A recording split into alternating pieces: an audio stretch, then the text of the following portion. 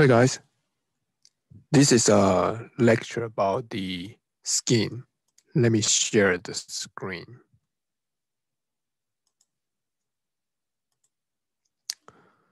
So you can see the PowerPoint right here. So this coming from the textbook chapter five. So this is the uh, the free textbook. You actually can get it from online if you need the uh, link I can provide to you. But you don't need to have the textbook here in my exam, you know, it's all coming from my lecture only. So let's talk about it.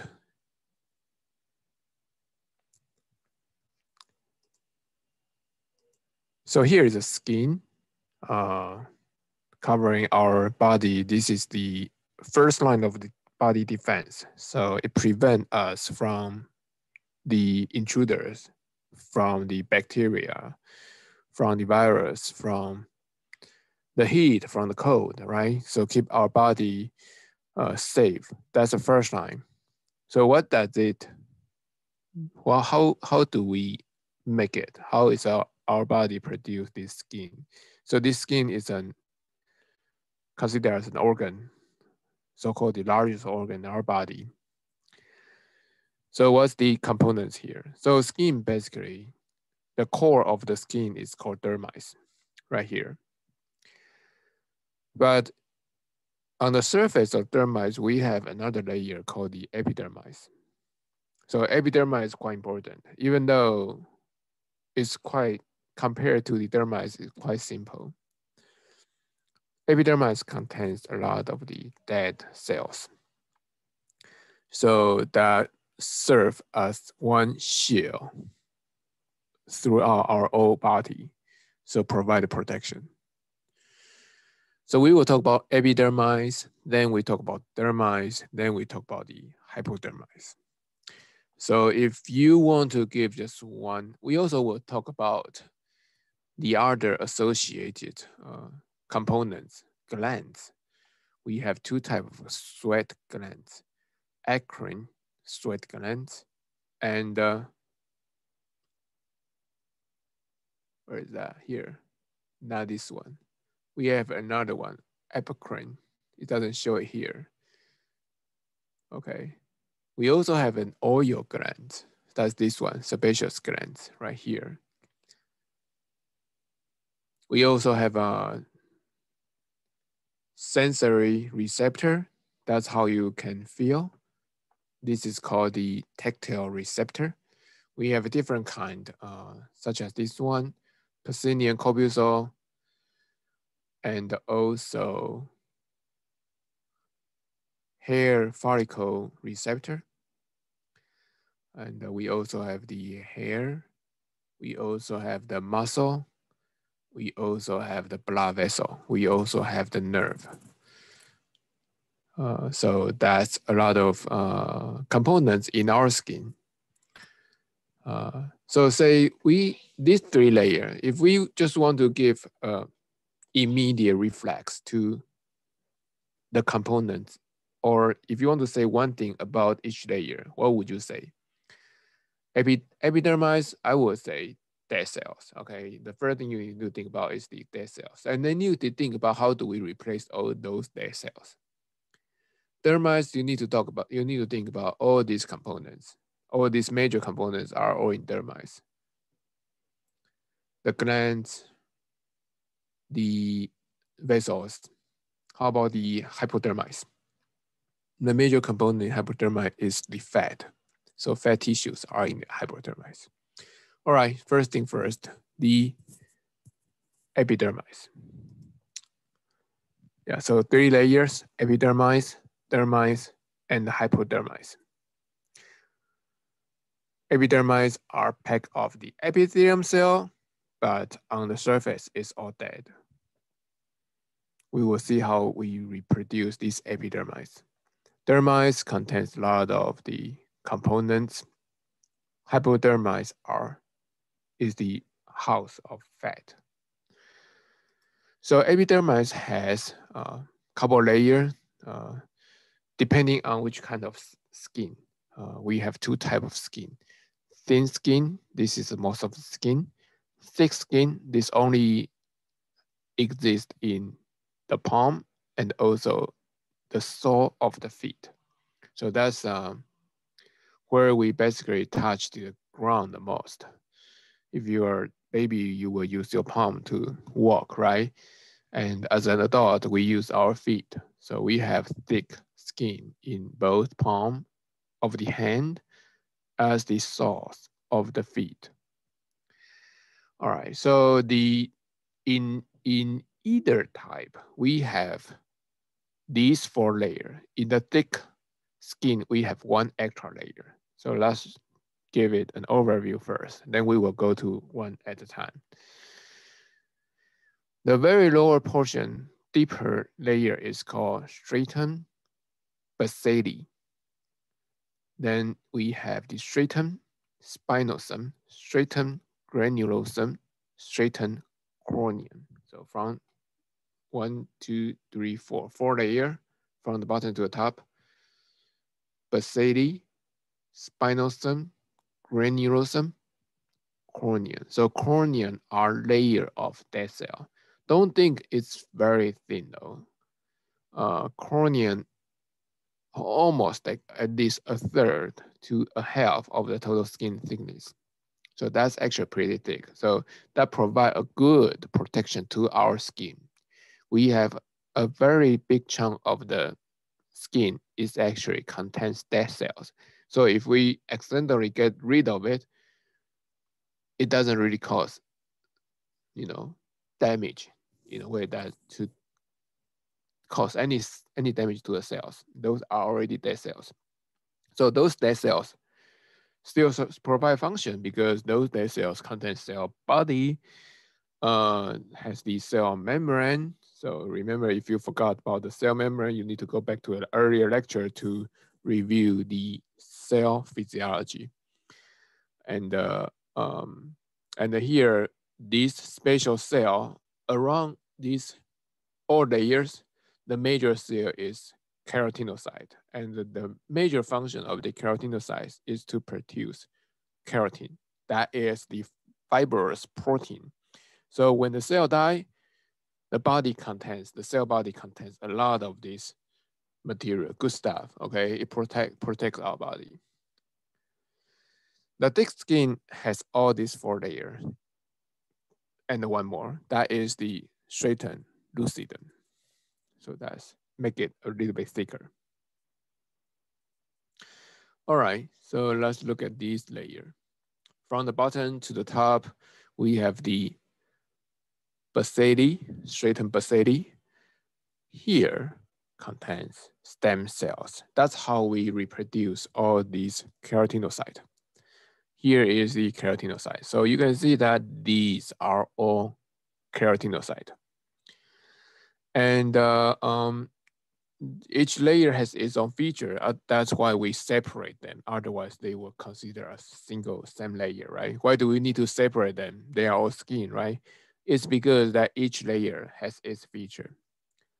Basale are basal cells. These are stem cells. These reproduce. So the cell continues to divide. When they divide, they push the material up so they will replace in top the dead cell will the oldest dead cell will go away, while the new one will be replaced by the less older cell, right? And then move on here is the stratum spinosum. These are matured skin cells.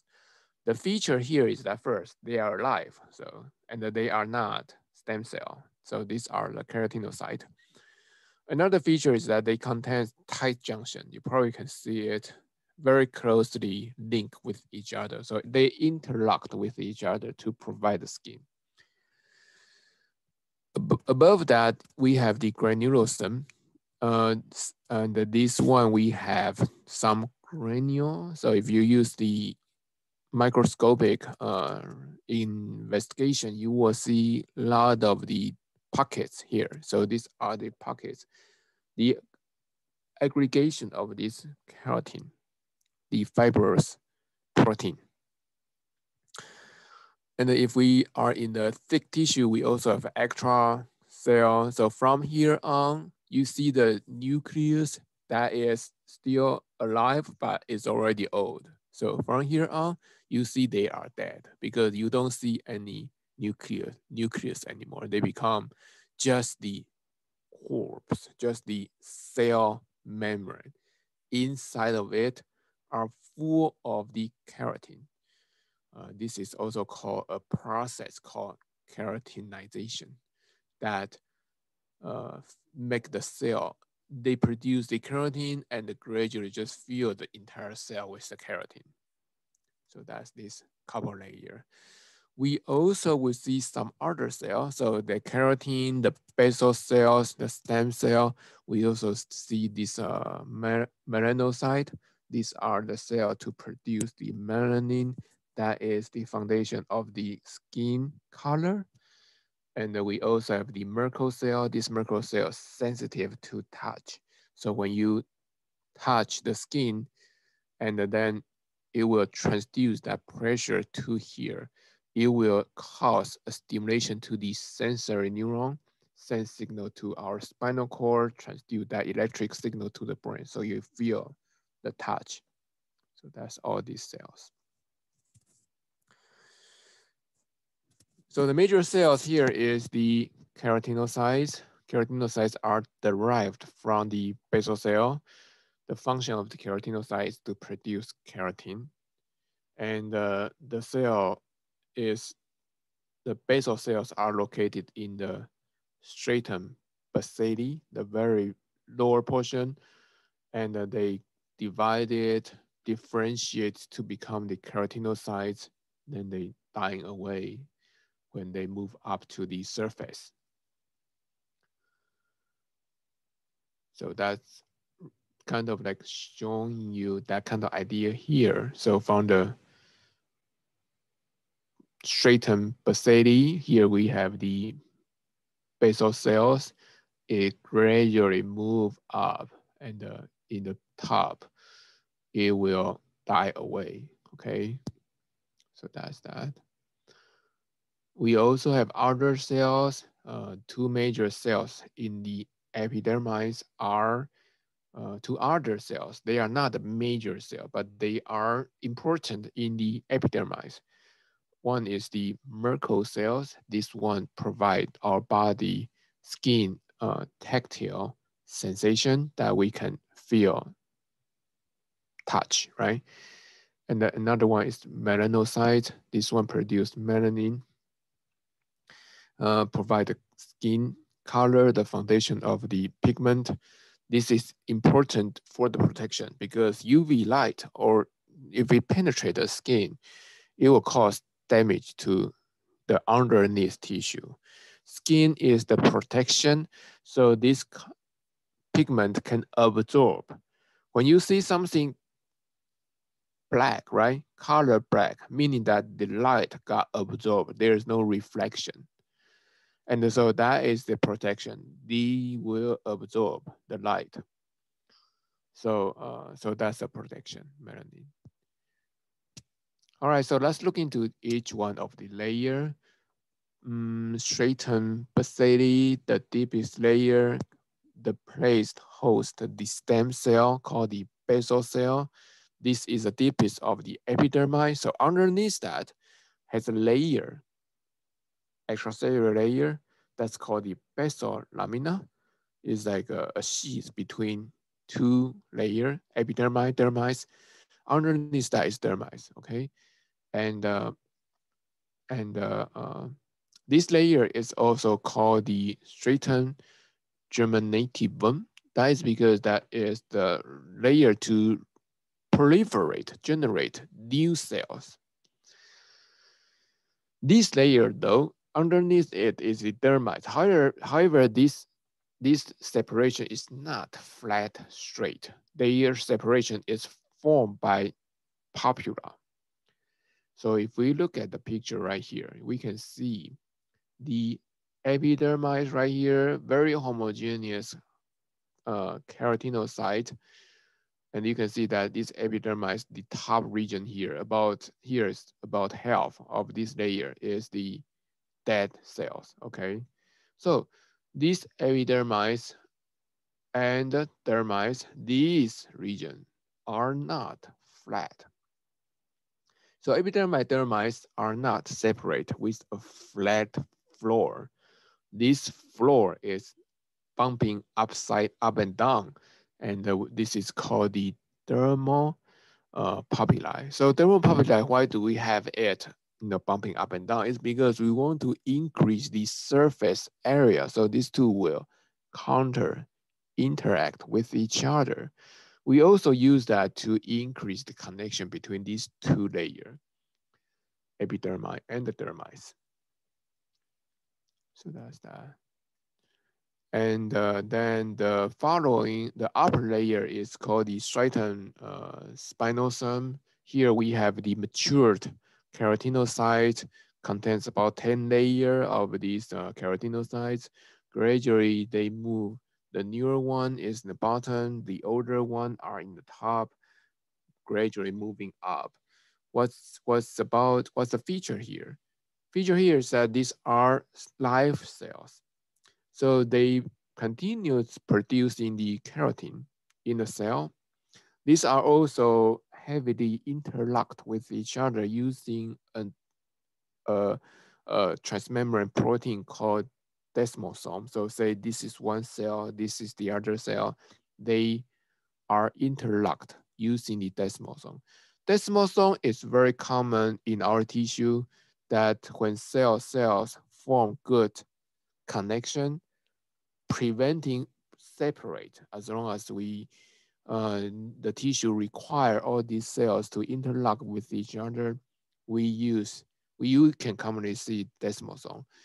You can also commonly see the other two type of the intercellular protein, such as the tight junction and the gap junction. Tight junction will, will make it very tight. It will be no fluid to filter through. Desmosome is not as tight, but they hold each other very well. Gap junction is the bridge between two cells. At this point, you just need to know the desmosome. This is very common. You see it here in the skin. Uh, you probably also saw it already in uh, in the uh, in the cardiovascular system. The, the heart muscle also uh, interlock with each other using the desmosome. In this region, we also has one monocyte, one macrophage cells. That's called the Langerhans cells. So that's this layer. So they provide the, uh, if there's any virus or bacterial intrusion, these can come there to engulf it, to digest it. Langerhans cells. All right. Above that is the stratum granulosum. So here we see the granule, meaning that they have uh, part particles inside of cells.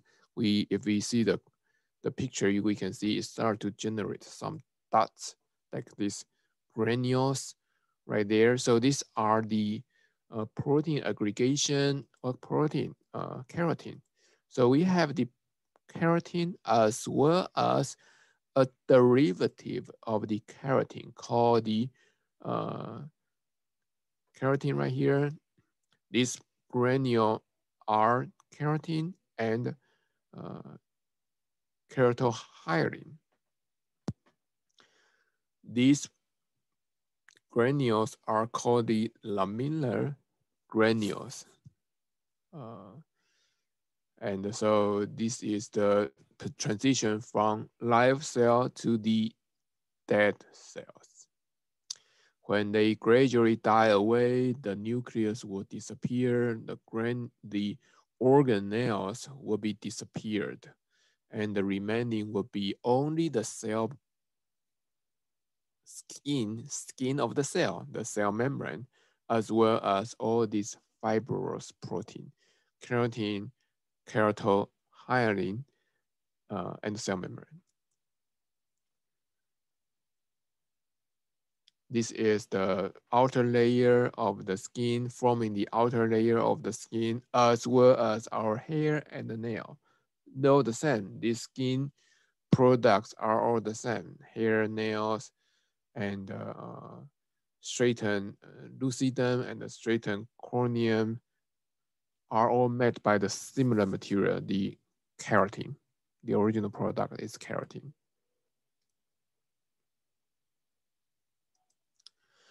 So this one showing you the um, uh, additional, uh, in the, uh, uh, above the granulosum is the cornea if it's thin skin. We have the lucidum, that's a thick skin. Here we have uh, see, we can see additional like uh, granule. We call this granule the eleidin.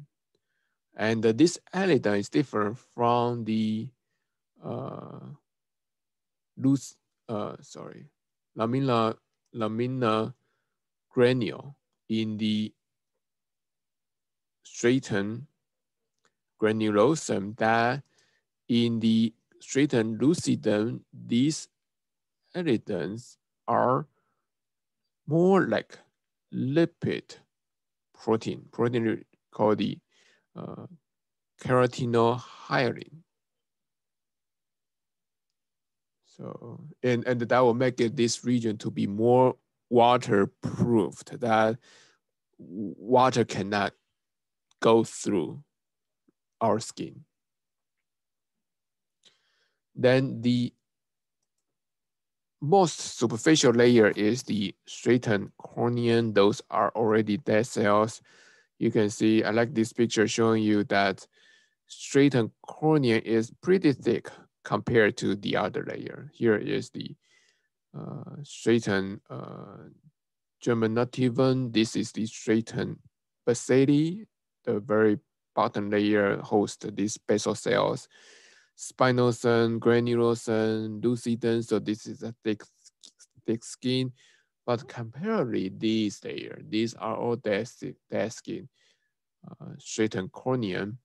You see how, how thick this is even more than the other combined.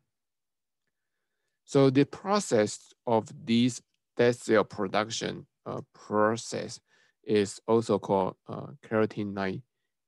That basically means that the cells become full of keratin and uh, the other organelles start to be disappeared.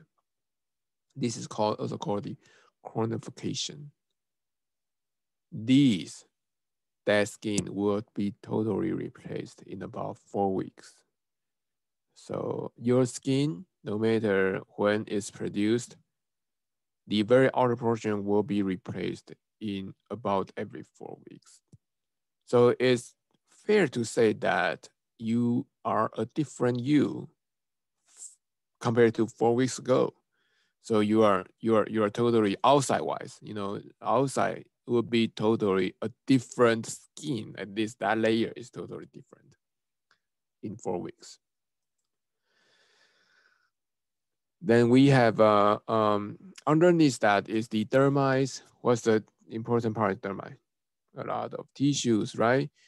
and uh, vessels, nerve. What is the cells of the skin in dermis? In addition to all those tissues, the major cells here is the fibroblast. So in the epidermis is the keratinocyte, in the dermis is the fibroblast. Now, fibroblast, the keratinocyte produce keratin. Keratin is the intracellular protein fibroblast produce the elastin and the collagen. So those are the extracellular matrix. All right, so they secrete it to fill in the space, fill in the interstitial, interstitial fluid, interstitial space. Uh, these two are different, even though these two are both extracellular matrix. Elastin is more elastic, like our rubber, right? So it allows the skin to extend. That's why we can bend right? That you, you won't be worried that your skin gonna get broken if you bend it, right? And uh, the collagen, in contrast, provide the strength, so they are not too much elastic. They still hold together. So it's a good balance between elastin and the collagen is, is very, very important to allow us be freely move our skin and the muscle and the bones, as well as keep the skin very uh, strong, hold everything together. This dermis has two layers. One is called the papillary. This is the area just underneath the dermi, dermal papilla. And uh, underneath that is the reticular layer. So let's look at these two layers. Layers right here. So this is the one, so this is the epidermis that we already introduced. Underneath that is the dermal papillae, right here, dermal papillae. And uh, you one thing you need to know though, the epidermis doesn't have the blood, okay? All the blood, the further they can go is to the dermis. And that's why these basal, uh, the stratum bacilla, uh, bacilli, sorry, stratum bacilli, these basal cells can be well neutralized while they are further away from these basal uh, stratum bacilla, this um, this uh, layer, they are further away from the nutrients, so they will die. They cannot maintain a life. So when, if you get a cut, if you didn't see the blood, good, good that you didn't really damage any skin, the real skin yet. You only damage the epidermis. If you see the blood, then you already damage up to the derm, derm, dermis layer. So here, this dermis has two layers. One is the papilla, papillary layer. The other one is reticular. And all these are produced from all these like fiber stuff are all produced from the cell called the fibroblast. And this fiber, fiber stuff, this is uh, collagen and elastin, uh, is more condensed in the reticular layer. It's more loosened in the papillary layer. So let's make these two separated. In here, we have the vessel, we have the sensory receptor, we have the nerve. Uh, so that's that. So that's these two layer. Papillary layer is the uh, top portion of this dermis, and uh, it's uh, it's uh, it's a neighbor of the epidermis, uh, the uh, stratum bacilla layer of the epidermis, and uh, their their their their border is not a straight border. Their border is like a, a, a mountain border, like up and down, up and down. It's called the dermal papilla. In the papilla layer, it also has some extracellular matrix, and uh, but it's not very wellly wired together. So and in this region, we have some uh, macrophage to provide the first line. Here is the one that uh, we have the blood supply. So all these immune cells, the blood-borne immune cells are able to reach here without too much of the effort because they are part of the blood. You need to know that above that, to the epidermis, it will be difficult. So that region would not be covered by the majority of the immune cell the epidermis are supported. Their immune is provided by the Langerhans cells that we talked earlier. And in this region, we have the uh, immune cells, we have the phagocytes, the major blood phagocyte cells are the uh, monocytes, defense cells, meaning that immune cells, We also have a lot of the small vessels, lymphatic vessels, nerve, and the sensory. So in the epidermis, we have the Merkel cells to conduct. Here we have even more if you look at this one here. In the epidermis, we have the Merkel cells. It's very small, you don't see it here. But in the dermis, we have even more. We have some here, some here. You see, those are the receptor, mechanoreceptor, that will transduce any deformation to the skin to form a signal, the nerve signal to our body. So we know that that uh, the, the sensation of the touch. All right. So that's the mechanoreceptor cells. Let's do a little summary about the mechanoreceptor cells we can see in the skin. We already see the Merkel cells. This is the epidermis, uh, lower portion of the epidermis. We have the Merkel cells. When we touch it, it, they will get excited, send signal to the nerve, tell the brain, if we look into this region, we see the neurotransmitter released from the uh, Merkel cells to the nerve. In the dermis, in this region, we have two type of the receptor. One is called the Meissner corpuscle.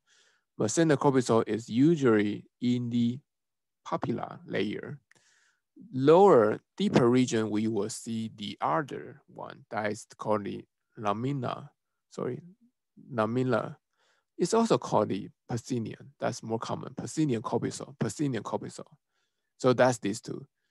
Merkel cells in the epidermis, Pacinian and the Meissner's corpuscle are in the dermis. Meissner is more superficial. They are in the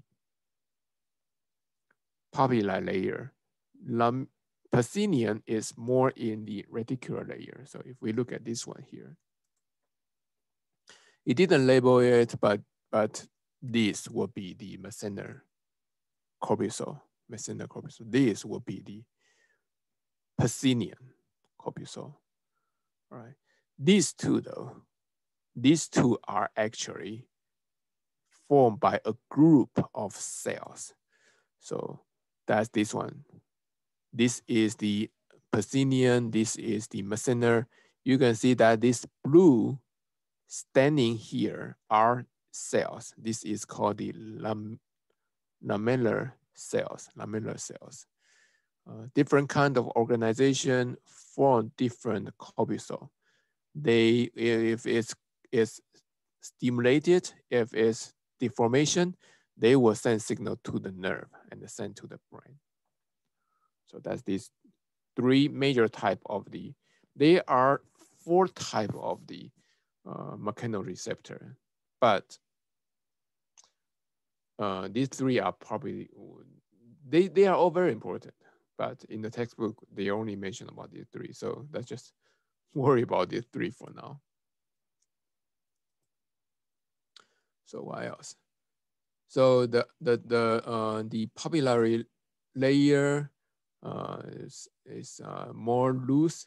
The reticular layer is more condensed. Here is the fibroblast that is a cell to produce the elastic protein, collagen protein. Reticular layer uh, is more heavily wired region. Uh, the wire is the elastin and the collagen.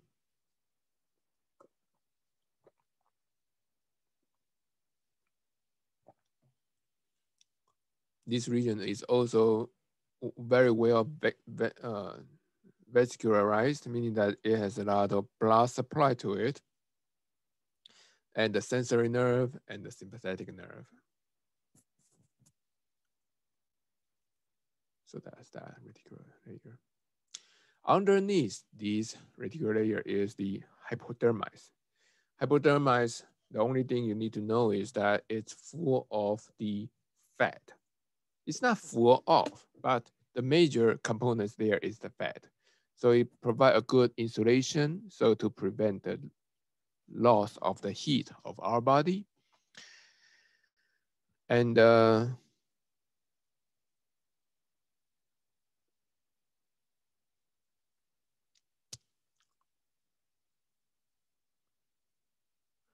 and uh, mm, and this region is also called subcutaneous. If you ever heard about subcutaneous, that means here.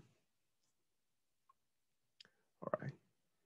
Now, uh, another important concept is the pigmentation, the color of the skin.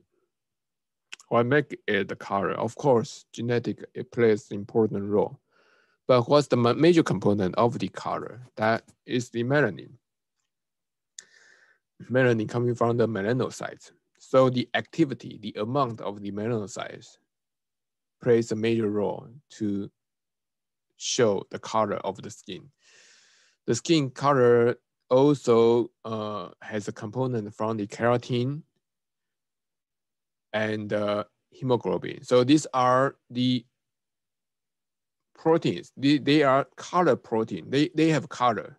Uh, and uh, hemoglobin is a protein in the red blood cells and the keratin. So they are all the pre present, their distribution present the color of the skin. The melanocyte is the major one, and the melanocyte is important because their production is related to the sun exposure. They produce the melanin and that absorb the light so it can prevent the damage from the UV light. Melano melanocyte is in the epidermis. They uh, they will provide the uh, melanin. When they produce the melanin, not just one melanocyte has a color, they will release those melanin. They will pack it in the vesicle. These vesicles are called the uh, melanosomes.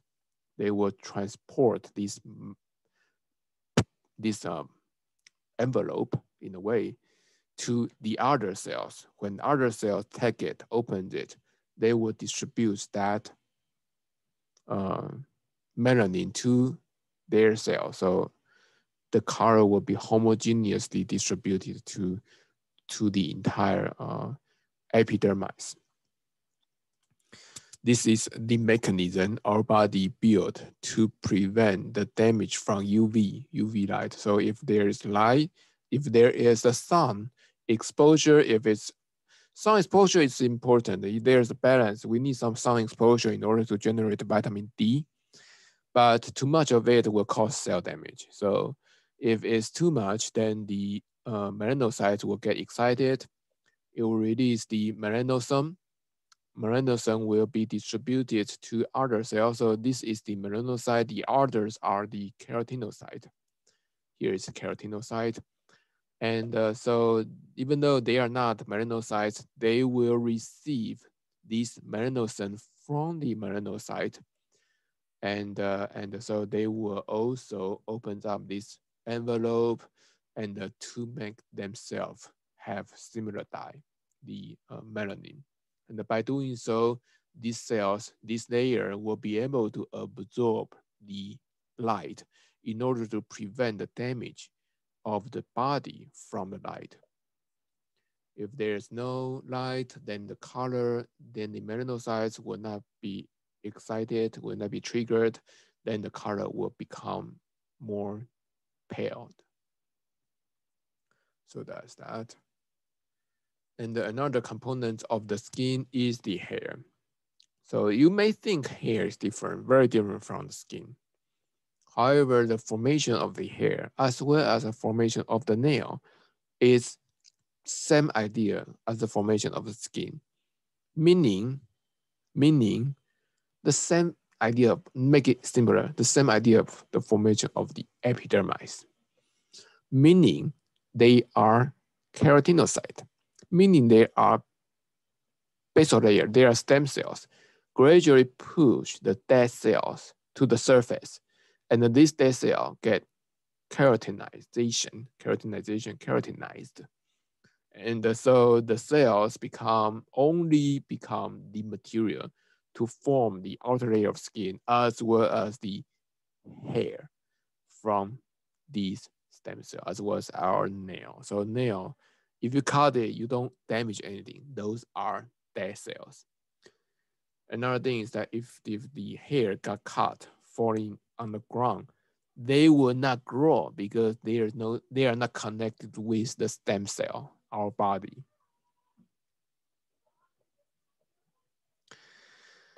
All right, so the hair, hair are in the epidermis. All right, don't get confused that they are deep. They are dermis. No, they are epidermis. Okay, so that's why the epidermis has the stem cell. They are located in the uh, stratum basale here, stratum basale. So down here, down here, down here, and then up here. This blood does epidermis has blood? No. So you see this blood, they are in the dermis. And so this is the papillae, just like the other papillae you see before, just like this papillae, just like this papillae. So this is the papillae. And underneath here, we have the stem cell, like this one here. This is the stem cell. They are in the stratum basale. So here in the all in the epidermis. Hair can be viewed as two portions. One is called the hair shaft, right here, hair shaft. The other portion is called the hair follicle. The cut off of these two portions is the tunnel. So if it's in not turned turning the tunnel yet, we call it. However, you can see that this is transition. This is not entirely clear difference, but generally, we just consider that everything underneath this tunnel, even though they are still in the epidermis, this portion, this portion called the follicle. All right. So uh, basically from the surface of this tunnel toward the bottom of the tunnel is a gradual change. Uh, uh, above this tunnel, it's very much the same. This one uh, is easier. Hair shaft, it has the collagen, right? Not collagen, the keratin these are the keratinized stem cell. Here, uh, typically we consider it has uh, three uh, uh, uh layer uh, or circulate together, eccentrical layer. And inner is the medulla, outer is the cortex, the outer outer is the cuticle. So that is the hair shaft. But basically that's all dead cells. Medulla is the dead cell. Cortex is keratinized cell. Cuticle is further harder keratinized cell. So those are basically the same thing. It's just deader than the dead, the older dead versus the newer dead. All right, and uh, the follicle, uh, uh, uh, that's the region that we'll, we will see the transition. From the dipping down to the follicle, we will see in the bottom of this follicle, it's called hair bulb.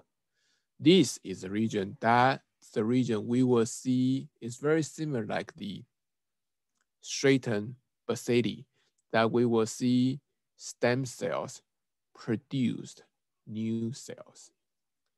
So, so we see here, what we do see here, we, we see here is, so we call this one is hair bulb. And uh, here in the epidermis, we have the basal cells. In the hair, we call it hair matrix. So hair matrix is the region host of these stem cells. Because it's called hair matrix, these stem cells is also called matrix cell. This is basically the same thing as the basal cells. but in the hair, we call it hair matrix cells. So let's look at these hair matrix cells. Hair matrix cell, you can see right here. They are, they basically uh, same as the basal cells in the epidermis. These matrix cells are the stem cells. They continuously divided to form keratin, keratinocytes. The dead keratin keratinocytes will push the hair out. And these are on the top of the dermal papilla right here. Dermal papilla, we here is also, as I show you before here, dermal papilla. This is the dermal papilla. It didn't really see it here, but it is, okay? It's in here. And this dermal papilla, these dermal papilla is also called the hair papilla. Here we call it dermal papillae, but it's also called the hair papillae. That's, that's the same thing. That's where we have the blood supply, the capillary supply to the to the stem cells, to the um, the very uh, deep uh, layer of the of the uh, and also the most superficial layer of the dermis.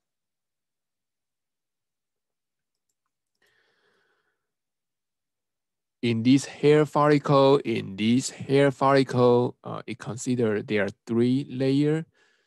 Uh, the the inner is the newly formed. So this inner is the newly formed uh, keratinocyte. The outer is the basal cells, uh, the matrix cells, and the, the, the very outer is the uh, Grothe membrane. So this is the boundary between the epidermis and the dermis. So that is that. The hair grow uh, in three phases. Uh, this matrix cell uh, will go through a rapid growing division phase.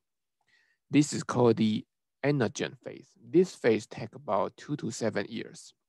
They very rapidly divide themselves, produce the new keratinocytes, and then push this hair growing out. After that, it will be, they will rest. Uh, this, uh, the function of these stem cells will, will slow down. And uh, this is called the uh, catagen phase. This phase only take about two to three weeks. And the following that is called the telogen phase. This telogen phase is the separation of the hair follicle from the blood supply. So that is, uh, I can show you this one here. That's the picture shown here. In this telophase, before we have this papilla, this papilla is a blood supply from the dermis. Uh, in the telogen phase, these epidermis will completely separate from the papillae. So there will be no blood supply. And uh, without blood supply, these basal cells will gradually die away. So, and the entire hair will be falling apart and then it will, these will also regenerate again.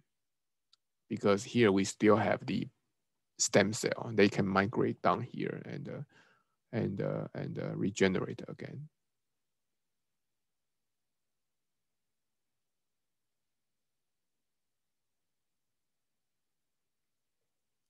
So that's the three layer.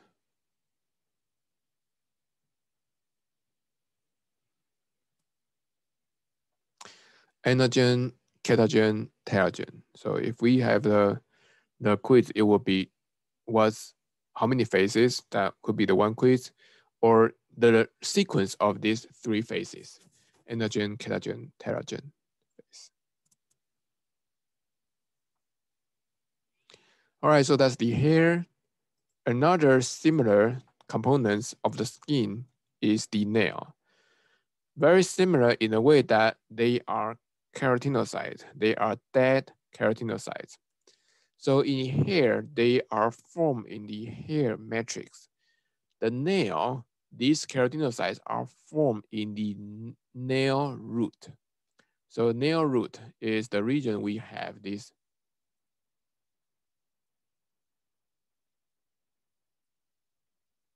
we have this stem cell. They will divide it and grow further up, become dead, keratinized dead cells, and they become the nail.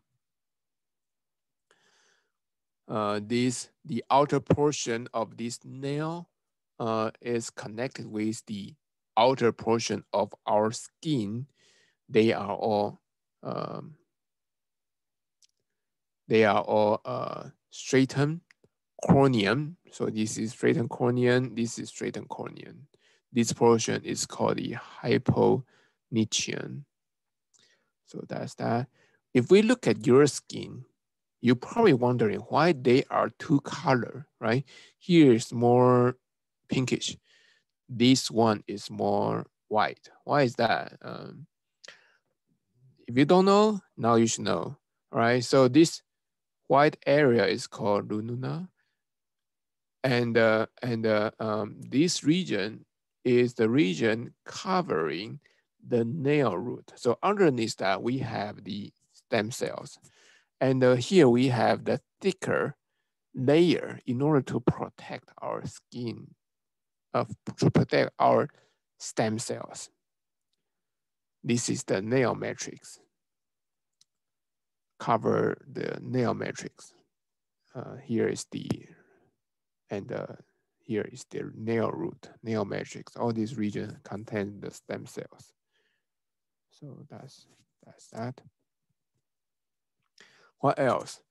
In the skin, uh, we have the hair, we have the nail, we also have some glands. These glands, uh, we basically have three type of the glands.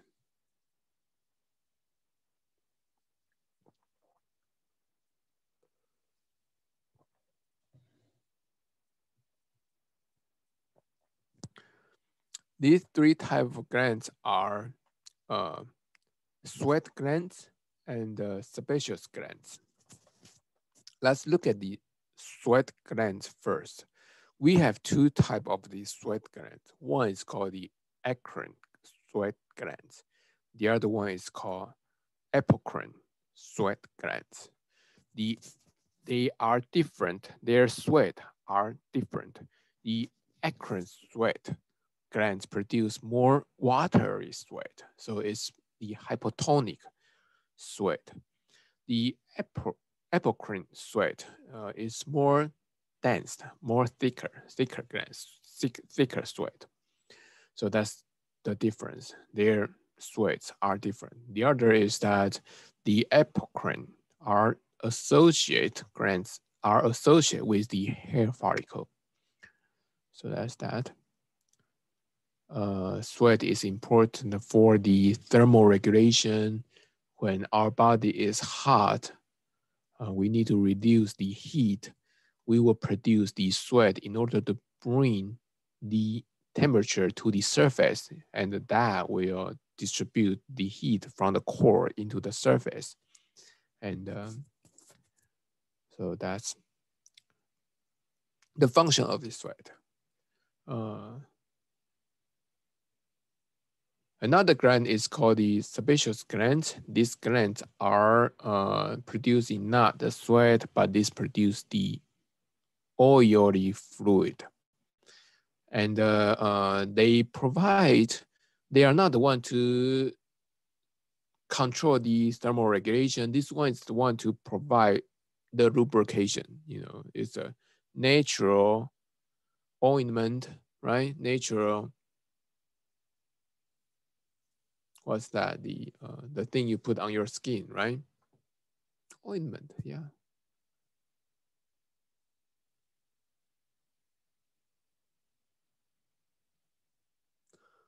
I forgot. Yeah.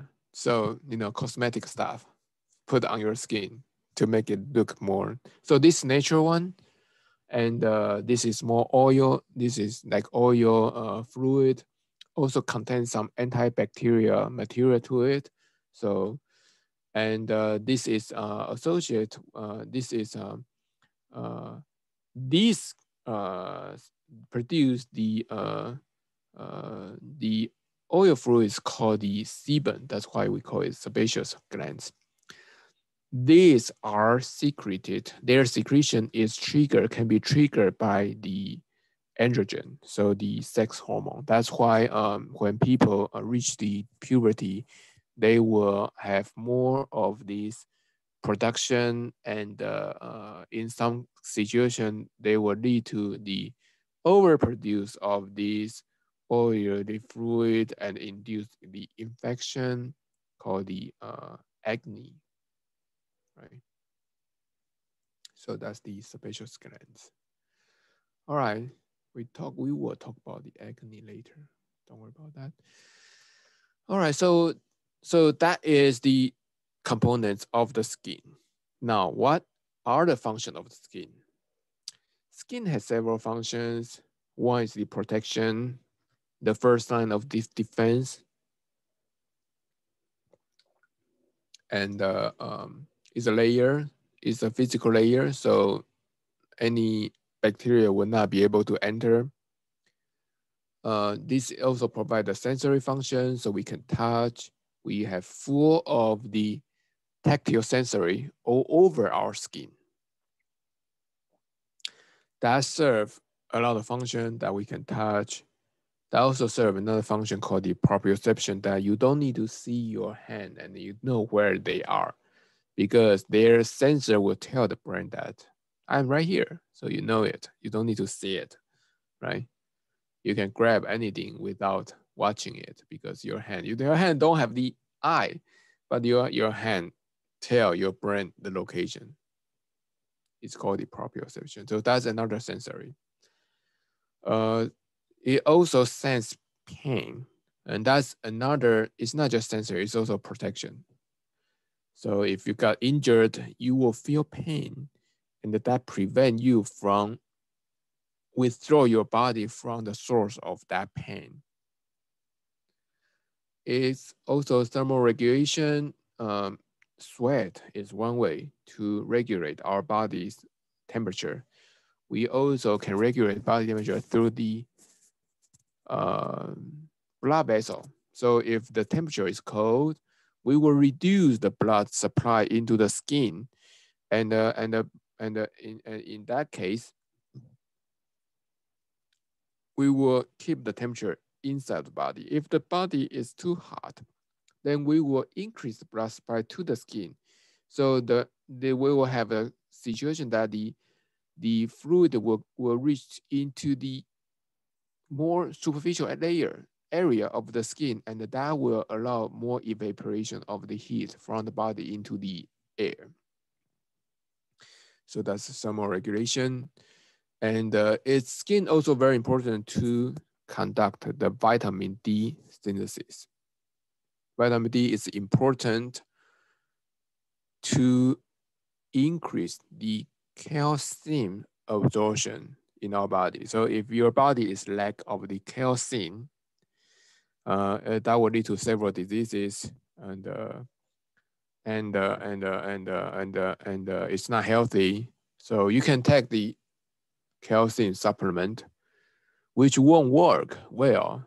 The better way to do it is to have vitamin D, because when you eat calcium, calcium won't be able to get reabsorbed in our body unless you have sufficient vitamin D.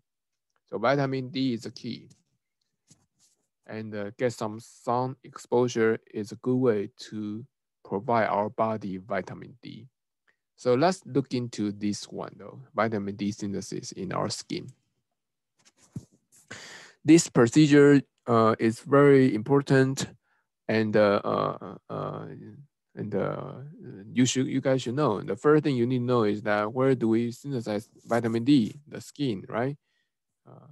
And or vitamin uh, skin can produce sun exposure to the skin can produce what vitamin D. Okay, so that that's an easy quiz question. Uh, and then the procedure to produce the active vitamin D needs to go through almost three organs. The first one the skin. Skin will produce the inactive form of the vitamin D. They will convert the cholesterol into the inactive form of vitamin D.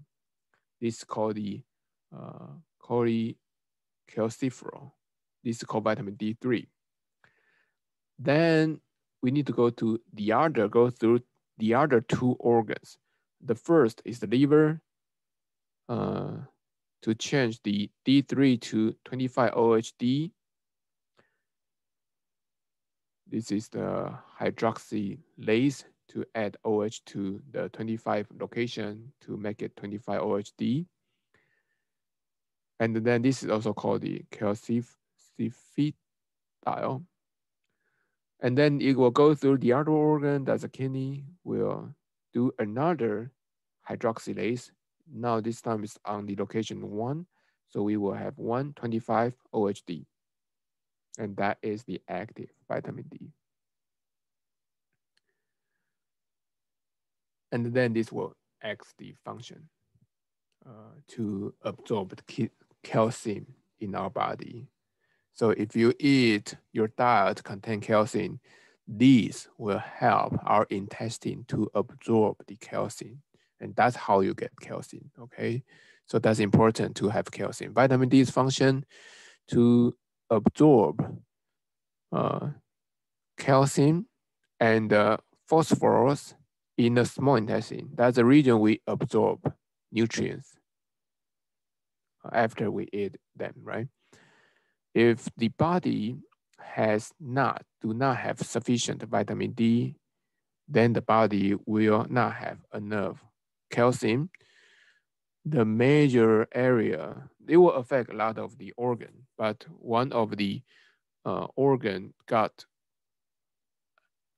impact the most is the bone. So it will form this osteomalacia. That is the softening of the bone, the def deficiency of the, the consequence of the deficiency of vitamin D. So vitamin D is important. Vitamin D to provide us the capacity for calcium absorption. Uh, our body also has hormone. Later, you probably will learn about the endocrine system. You will learn about the parathyroid hormone. This one produces parathyroid hormone. Parathyroid gland produces parathyroid hormone. Uh, that will also play an important role in calcium absorption. Now, vitamin D uh, from our skin transport to the liver got uh, 25 OH on it, then it will transport to the kidney to form the 125 OHD. This one is one to be activated.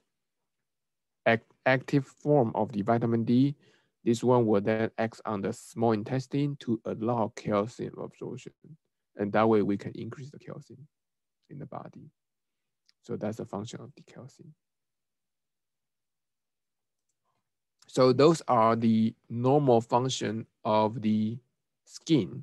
Now let's talk about before the end. In the, the I will use about some seven slides to talk about common or not so common uh, diseases. Uh, when people talk about this disease, you have some idea after you know taking this course. So the first one is the cancer, skin cancer. Skin cancer is the overproduction of these cancer cells. And um, there are three major types of the skin cancer cells. Uh, there are more than that, but these three uh, uh, are more important, more clinical relevant. So the, the first one is the basal cell carcinoma that is the overproduction of this stem cell. these basal cells is already can divide it rapidly to provide the keratinocytes. And that's what we need to replace all these dead skin cells. But their production is very well regulated. If it's not regulated, we may have overproduction of these stem cells. And that is the basal cell carcinoma. This is the most common type of the skin cancer. If this basal cell produce okay, but the keratinocytes is too much, we have too much of the keratinocytes, then we have another type of the skin cancer that is called the squamous, squamous cell carcinoma. That is the overproduction of the keratinocytes. We also have another type of skin cancer that is the overproduction of the melanocytes. Uh, this one, even though it's not the most common type of skin cancer, but this one is the most fatal one. It's because that they have high metastasis rate. Metastasis rate. That means that they will migrate from the skin to other area. They will go into the lymphocyte, go into the lymphatic vessel and propagate to different part of the body. And it's very difficult to trace. So for the other two, when there's a tumor, you see the sign is on the skin, we can do surgery to remove them. But if it's melano, melan, melan, melanoma, melanoma, then these cancer cells may propagate toward the other part of the body and it will be more difficult to treat. So that's the most fatal type of this skin cancer. All right, another skin disorders uh, include, we will talk about these, uh, asthma, acne, injury, we will talk about this. Asthma is one that um, allergy. So if there, uh, if you're, if you is is individual dependent. If your body is uh, sensitive, respond to certain type of the foreign particle, uh, respond meaning the immune response that your mast cell will release the histamine and uh, you will see the swelling of the skin and those, those are typical response to the allergic response in the skin, it's, uh, it's shown as the asthma. In other part of the body, they may show different symptoms. Eczema. In the in the in the in the in the uh, in the bronchial, this airway, they will also respond to the allergen. That will be the asthma, right? The narrowing of that um, that airway. So eczema and asthma, even though they sound very similar, and in fact they they they run under very similar mechanism. They are allergic uh, over hyperallergic response into the allergen. So that's that. And the acne is the overproduction of over uh, activity of these sebaceous glands. This is usually typically uh, triggered by the, uh, the androgen. So after the puberty, you may see these young people will know, have the uh, acne and, uh, and that is because of these hormonal quick change trigger the sebaceous glands to produce the sebum, this oil fluid, and to induce the infection, too much of it to cause the infection in the, in the skin. Another is the some type of the other different type of the injury, the burns, wounds, scars, and uh, and uh, uh, calluses. Calluses. Let's talk about this though. That's um, burns. So burns is the the uh, the damage to the skin. Burns uh, can be classified based on the area of the damage or the degree of the severity. If it is the area, we, you, we can use a, a, a rule called rule of nines. So basically, rule of nine means the surface area in different portion of the body can be considered as the factor of nine, rule of nines. Say the surface in the head and the neck is 9% of the total body surface. Each of these upper limbs is 9% of the total body surface. Each of these lower limbs is 19, 18% of the surface of the total body surface. Trunk is 36% of the body surface. So that's rule of nines. We can also classify the burns based on the degree of severity. It means that how deep the damage is caused by the burn. So if it's only the epidermis, it's called the first degree burn. If it's epidermis, part of the dermis is called the second degree burn. If it's the dermis, then it's third degree burn. You know, if it's dermis, it's very much damaged the nerve already. All right. And, uh, and uh, the fourth degree is further down to affect the bones and the muscle. So that's this fourth degree. That's also a quiz question that if the damage only in the dermis, epidermis, which degree? First degree. If it's already in the bone and the muscle, which degree? Fourth degree. You need to know that if it's reached to the third and the fourth degree, this the nerve already got injured, almost completely gone. And uh, one of the nerve is the sensory nerve, right? And uh, and uh, one of the sensory is the pain sensory. It's called the nociceptor. So if it's only if it's reached to the third and the fourth degree, the patient actually don't feel too much pain, although the damage is very severe because the pain sensor is already got injured. They cannot feel the pain anymore. However, the damage is very bad. So that's the burns. Now scars, how do we form the scars? When you see the scars, nobody, I, I assume nobody really like the scars, but why do we have the scars? Scar is the skin. However, this is the collagen-rich skin.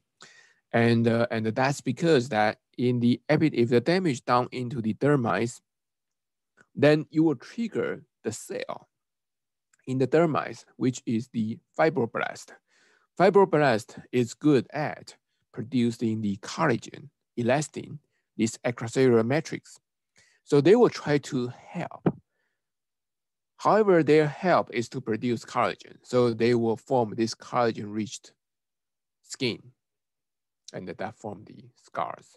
If their production is too much, it's called the hypertrophic, it's hypertrophic scars. It's also called the uh, keloid. Uh, we may also have the atrophic scars. Uh, sometimes we see these sunken appearance scars due to the acne or chickenpox. We don't really come and see chickenpox anymore, but we may see it in the acne. And uh, this is the uh, is basically is due to the damage down into the dermis, the fibroblast trying to help forming this uh, collagen-rich skin, and that's the scars. Another type of the damage is called the bed sores. bed sores is due to the over prolonged suppression to the skin to a to to a to a condition that the skin do not have the blood supply because the prolonged pressure for a long time. And those cells die from it. No blood supply is a ischemia. When they this cell die it will trigger the infection infection and these dead cells cannot protect the body from the outside bacteria or the uh, yeah bacteria. And so this bacteria will enter and then it will trigger more infection to it. And so that is the uh, the we commonly see this in the patient in the hospital that that's why we need to uh, constantly not constantly but regularly rotate the body in order to prevent the formation of the bed sores turning the patients. Another condition of the skin is called stretch marks. That is because that um, the skin has elastic, elastin, so it can can be elastic. However, if if the if the um, if the uh, if the stretch is is over the limit of the elastin, then it will re it will it will show appear a stretch marks. This commonly seen in the uh, pregnant woman. This uh, enlargement of the fetus in the body will leave the stretch marks on the skin of the mother. Another condition is called the uh,